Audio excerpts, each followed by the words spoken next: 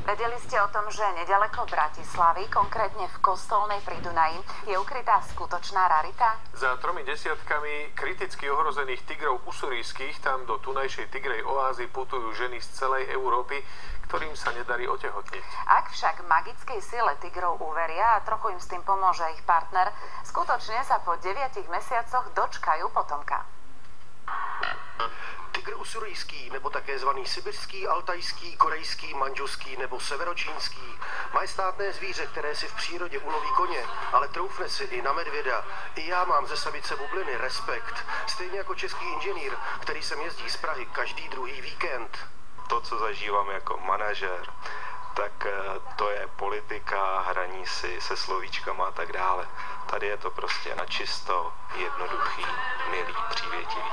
Na světě jich je jen posledních pár stovek, v drtivé většině v zajetí, stejně jako v kostolnej pri Dunaji, kde jich je hned 30 a za jejich magickou mocí přijela například slečna Simona z východních Čech. Ráda by chovala, ale nedaří se. No tak samozřejmě jsem se bála, ten respekt tam byl, protože jsem nevěděla, co to zvíře udělá, ale jinak to bylo hrozně příjemný. Právě přirozený respekt k těmto zvířatům působí v ženách hormonální změny.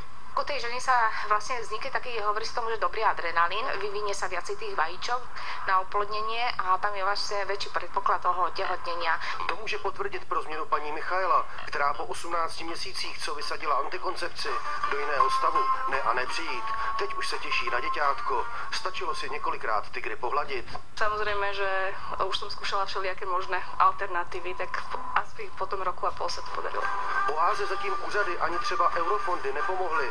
Nebýt dobrovolníků a dárců, oáza u kostolné by jen stěží přežila a nebylo by tak ani desítek šťastných párů. Pro televizi Joj Bohumorov kostolná pri Dunaji. Keď sa povie Karel Kryl, väčšine z vás asi ako prvý napadne verš Bratříčku, zavírej vrátka a samozrejme aj mnohé ďalšie